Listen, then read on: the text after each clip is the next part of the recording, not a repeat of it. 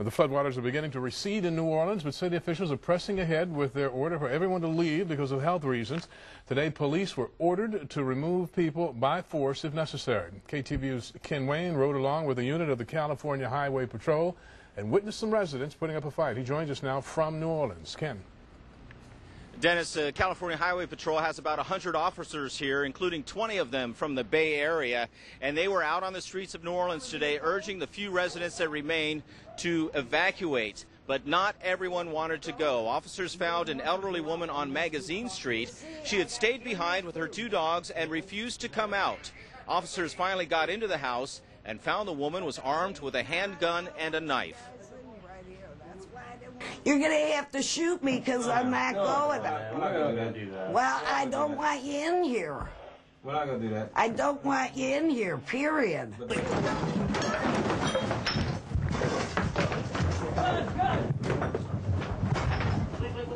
got a gun. Relax, relax, relax, relax. Relax, man. Relax, man. Knife. You son of a... No, we're just trying to help you, man. Well, it's their house, it's their home, and a lot of people, especially the older people, they have dogs, and it's like their loved ones, mm-hmm. and they're scared they're going to lose their house and lose their dogs. So, it's, probably we probably all protect our, our own stuff. Have a seat and relax for a No, minute. I'll sit on on, my someone take care of porch. Let me sit on the porch. That woman was finally loaded onto a military cargo truck, taken to the convention center, and then uh, to be processed, uh, taken by helicopter to the New Orleans airport, and to be set up to where she could find a safe place to be. She was allowed to bring her two dogs along with her, but of course, officers kept the gun and the knife. But it's an indication of what highway patrol officers and police from all over the nation are finding as they assist New Orleans police and Louisiana State Police in trying to evacuate this city. Dennis, Julie? Ken, it's obvious they're, they're going to use uh, physical force to remove someone who does not want to go. The obvious question now is uh, would they use deadly force?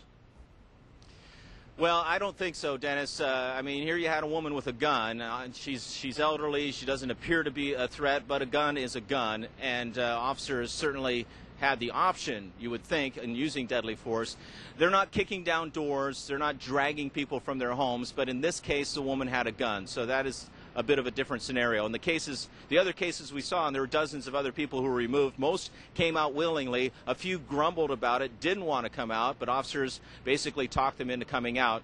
Uh, but they're knocking on doors, and if nobody answers, uh, they're not kicking the doors to go in.